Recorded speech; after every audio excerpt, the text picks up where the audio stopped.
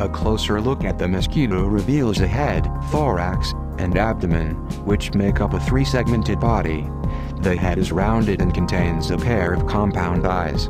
Contained within the compound eyes are hundreds to thousands of ommatidia or small lenses. Compound eyes assist in the pursuit of a host blood meal. The head contains antennae and mouthparts. Sensing movement in the air, antennae are hypersensitive as to allow a male to differentiate between a female's wing beat and that of another male. The male's mouthparts allow for nectar feeding, while the female's mouthparts allow penetration to capillary beds and robust blood feeding. Divided into three subregions, the thorax consists of the prothorax, toward the head, the mesothorax, in the middle, and the metathorax, toward the abdomen. Attached to each subregion is a pair of legs. The mesothorax contains spiracles that allow gas exchange between the body and the environment. Trachea tubes deliver oxygen to the tissues. The mesothorax contains a pair of wings. The metathorax contains halteres in the form of a knob or club. Halteres vibrate up and down with the wings and act as gyroscopes or flight stabilizers. The abdomen is divided into 10 segments, each segment except the first 9 tenth segments, contains a set of spiracles. Contained by the ninth segment is the gonopore or aperture of the common oviduct through which eggs pass during oviposition. Contained by the tenth segment is the female or male reproductive organ depending upon the sex.